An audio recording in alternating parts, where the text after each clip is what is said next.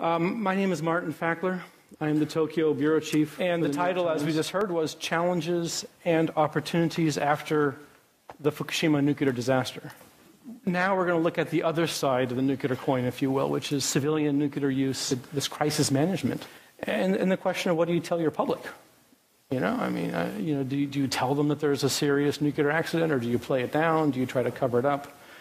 Um, uh, we heard about bananas and we shouldn't make the comparison, but I think actually I disagree a little bit. healthy foods aren't 100% healthy. Most people will get more radiation exposure from eating bananas.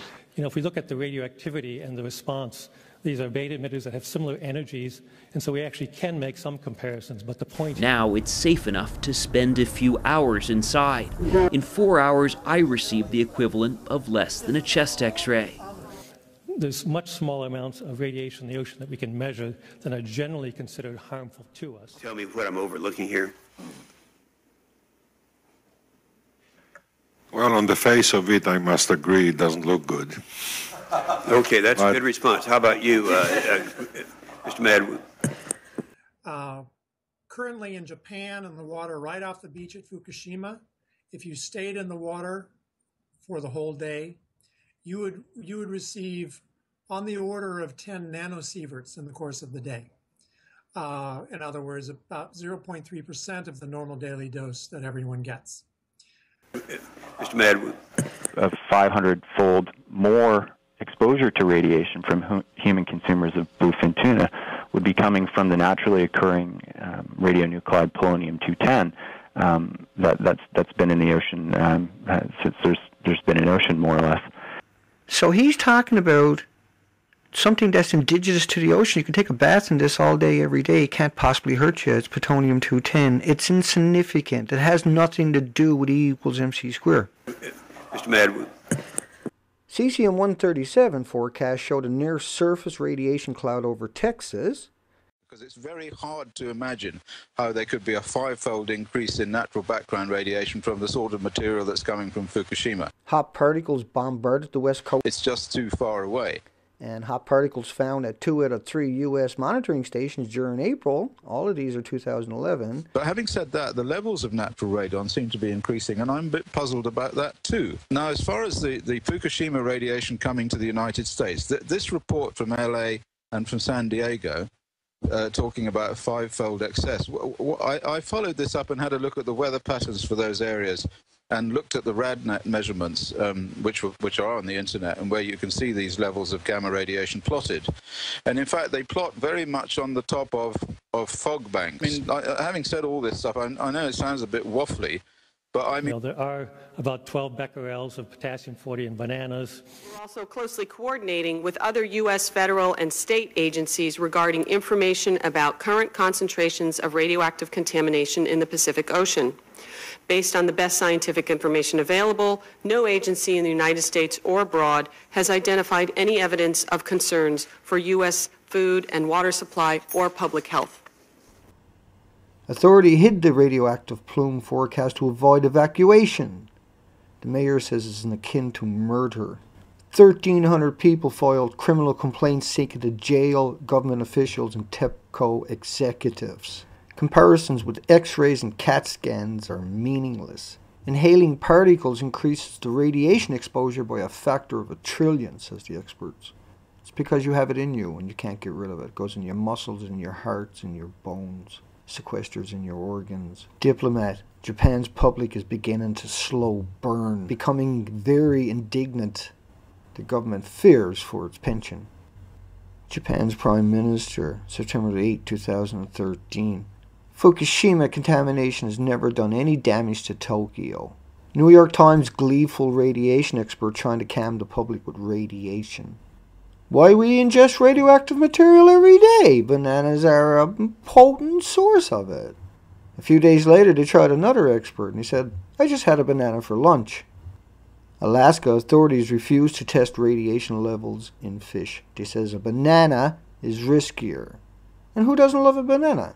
The body of an adult male weighing 60 kilograms usually contains radioactive potassium 40 of 4,000 becquerels, disintegrations, decays per second.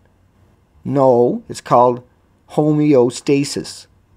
And what happens is your body regulates the potassium 40.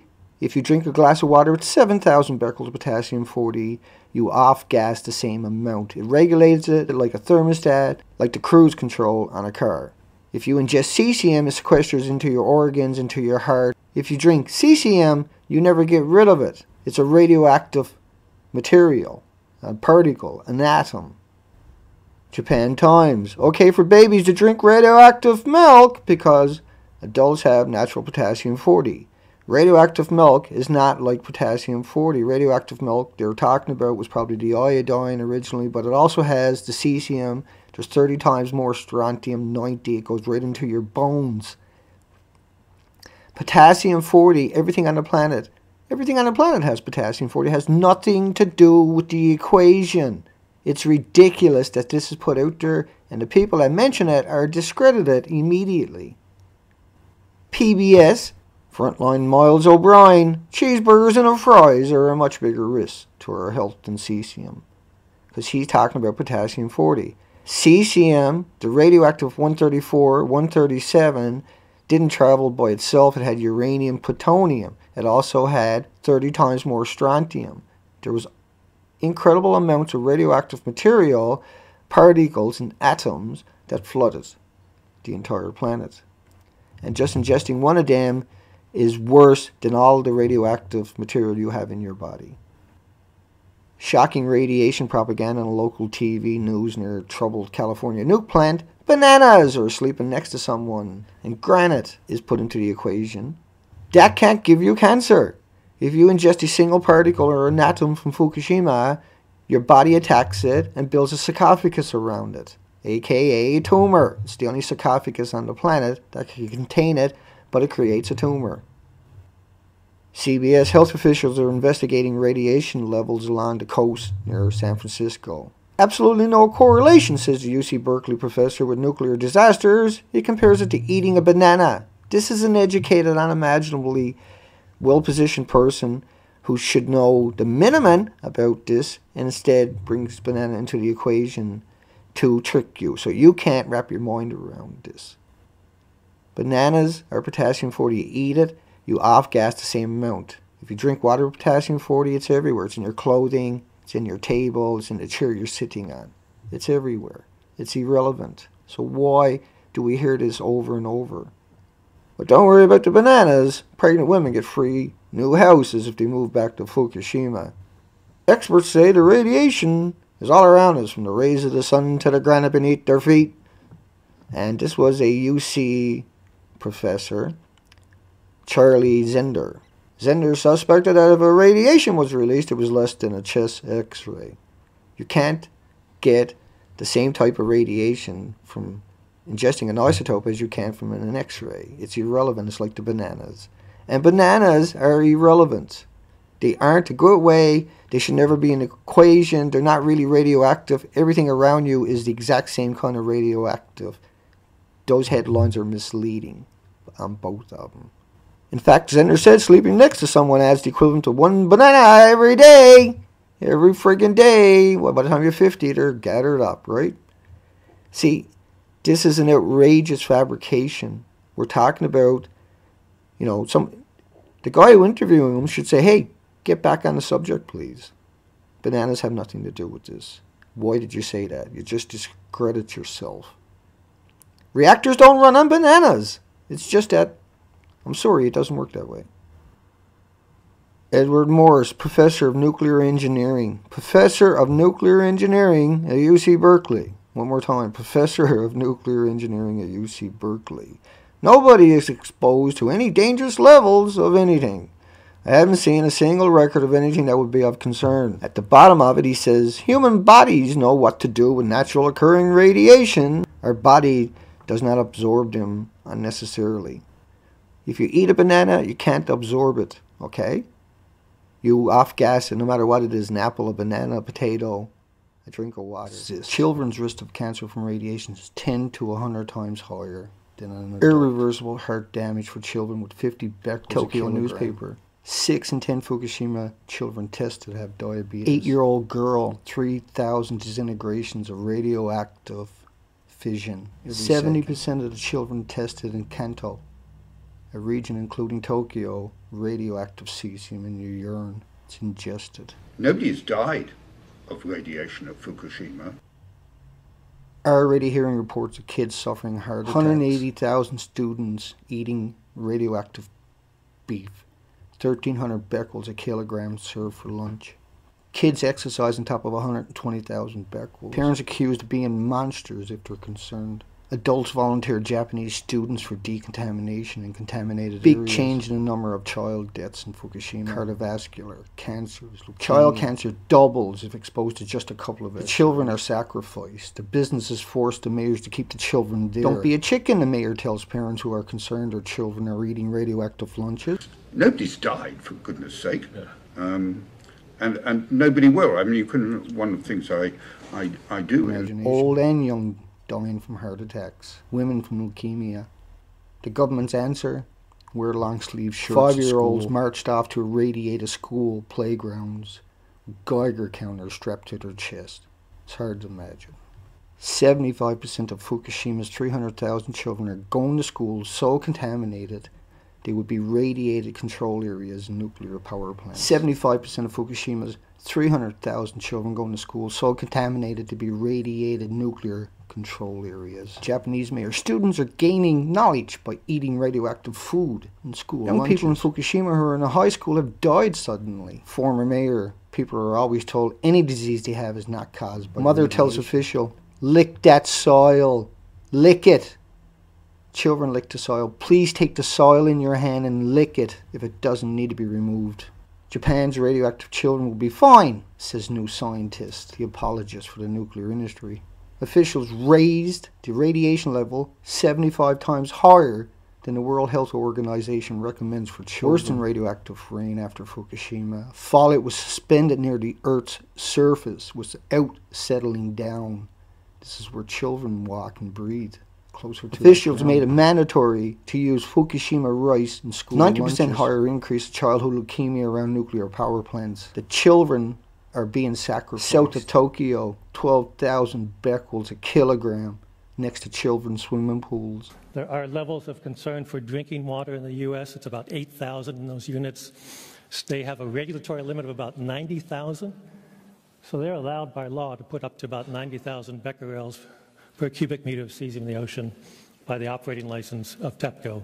Our plants have similar things. They're allowed to have certain levels in the ocean. What do you make of activists who say the sea is being polluted by Fukushima? Come on. That's because these are considered safe. And what we'll talk about at the last part of my talk is well, what does that mean also for that might be safe for your exposure, but what about the uptake into fish that we might be eating? So I'll end my talk with the seafood side. DOE sent a letter today to people of Eddy and Lee counties saying again that the radiation that got into the air Valentine's Day was likely at very low levels, no more risky than a chest x-ray. Whenever you have a disaster of any kind, there's always issues. You always mitigate the disaster and you move forward. I think it provides business, it provides jobs, um, it provides a future. So there's 12 becquerels of potassium 40 in bananas, and if you eat it, you off gas 12 becquerels of potassium 40 from your body. It regulates it, just like a thermostat regulates temperature in your house. The map you're looking at is around 1,000 to 1,500 miles offshore, and so I needed to include that to make sure you understand what you're looking at. But I do want to point out, and I'll go back to you know, there are about 12 becquerels of potassium 40 in bananas. There are levels of concern for drinking water in the U.S. It's about 8,000 in those units. The reason you're allowed 8,000 becquerels of potassium 40 in your drinking water is because it's harmless. It's innocuous. You drink it, you off gas 8,000 becquerels of potassium 40. It doesn't belong in the conversation. They have a regulatory limit of about 90,000. So that's 90,000 of potassium 40, and you would off gas that. That would be extremely high and unusual, but you would off gas that if you drank that because potassium 40 uh, doesn't stay in your body and, and accumulate. So they're allowed by law to put up to about 90,000 becquerels per cubic meter of cesium in the ocean. So you're allowed now, all of a sudden, to put cesium in the ocean, but we were talking about potassium 40. See how we just switched that? So it's not legal because if you had that much cesium in your water, your tap water or something like that, 90,000 becquerels, you couldn't um, turn the tap on. You would just get irradiated immediately because that's insanity, of course. And cesium doesn't travel by itself. It's going to have the uranium, plutonium, 30 times more strontium. But this is the game he's running. And that's not all. Wait till you get a load of this. By the operating license of TEPCO, our plants have similar things. They're allowed to have certain levels in the ocean. That's because these are considered safe. So he says because it's considered safe. It would be if it was potassium, but what he switched to was cesium. See, they took potassium, used those numbers for cesium, and now he says it's safe to release it. The licensing agreement for all nuclear plants is they're supposed to put this in a sarcophagus, in a man made structure, not in a hole in the ground, but in a man made structure where it sits for a couple of hundred thousand years. Now he's claiming because it's equal to potassium 40, right? They flipped it. But, but then he says cesium. And that's what makes it so dangerous. That what makes this so scary is they have to lie and manipulate potassium 40 into the conversation to come up with those numbers. That's what makes this so vital that they can't keep doing this. They just we have to stop that. That's how they're getting away with it. That's how they're destroying the entire planet. And if there was anything safe about it, they wouldn't be using potassium 40 in the equation. They would just say it's harmless. We know it's not. We know they're supposed to lock it up. We know it went through a chain reaction and becomes many, many times more dangerous and lasts for a long time. Certainly not like a half life. You have to multiply it by 10. So it's not a half life, it's times 10. And the lies are endless. He even goes as far as to say the ocean is mostly uranium 238. It's not the same stuff that you get from a nuclear reaction. That's how they do this. They name it the same and then they claim it's the same, but it's not. And what we'll talk about at the last part of my talk is well, what does that mean also for that might be safe for your exposure, but what about the uptake into fish that we might be eating? So I'll end my talk with the seafood side. And he says it's safe for your exposure, and then we'll talk about how is it for the fish? So he equated it all with bananas, and then he's going to equate it as harmless also for the fish. That's an outright lie. He shouldn't be at this. He only showed up the minute Fukushima happened. So well, this event happened. I had actually moved out of this field, but when we heard about the accidents, uh, we immediately knew we had to get there. And, and this is just a picture of a ship from the University of Hawaii we were very fortunate to find very quick funding. This is in uh, June of 2011. He was there at Chernobyl, didn't do nothing for that entire time, then he shows up for Fukushima all of a sudden. If that doesn't raise your suspicion that he's now saying potassium 40 is the equivalent of these isotopes when it's, that's impossible and it's an outrageous lie and he knows the difference but he's going around giving all these lectures and getting all that airtime and that makes it a scary, scary, scary thing that they have to lie like that.